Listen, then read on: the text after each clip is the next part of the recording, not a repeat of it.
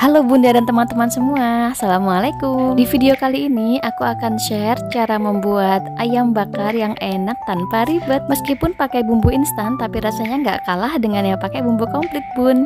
Yuk kita langsung ke resepnya. Yang pertama kita sediakan ayam 1 kilo. Ini sudah dicuci bersih ya teman-teman. Kita masukkan dalam wajan. Kemudian kita kasih bumbu racik ayam goreng instan ya. Ini untuk 1 kilo aku pakai satu bungkus Lalu tambahkan 2 sendok makan gula merah dan juga 4 sendok makan kecap manis.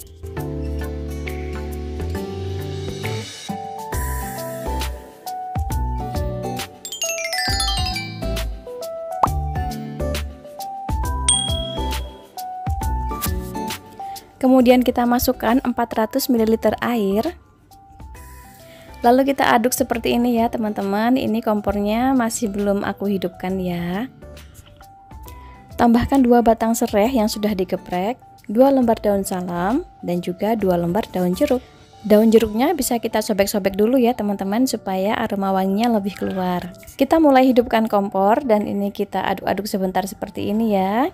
Ini kita akan masak sampai airnya ini benar-benar menyusut dan teman-teman bisa sesekali mengaduk atau membalik ayamnya 5 menit sekali ya.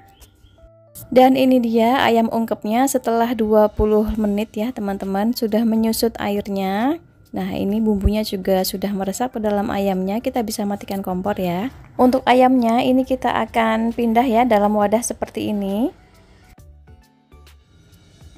Dan untuk sisa-sisa serai dan juga daun-daunannya kita buang ya teman-teman dan ini dia sisa kuahnya akan kita jadikan bumbu olesan saat membakar nanti.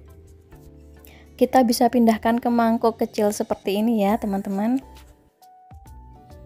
Selanjutnya kita bisa langsung memanggang ayamnya. Ini kita pakai teflon anti lengket.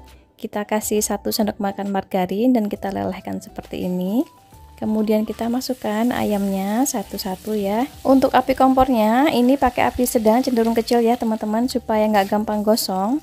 Kemudian kita olesi setiap ayamnya ini dengan bumbu oles yang tadi ya supaya nanti rasanya lebih mantap teman-teman bisa bakar ayamnya di atas arang ya itu lebih enak rasanya. Tapi karena di sini judulnya itu bikin ayam bakar sat-set yang praktis jadi aku bakarnya pakai teflon aja Nah ini ayamnya sudah beberapa menit kita balik ya teman-teman. Setelah dibalik kita olesi dengan bumbu lagi. Memanggang ayamnya ini nggak perlu lama ya teman-teman Karena ayamnya itu udah matang sempurna.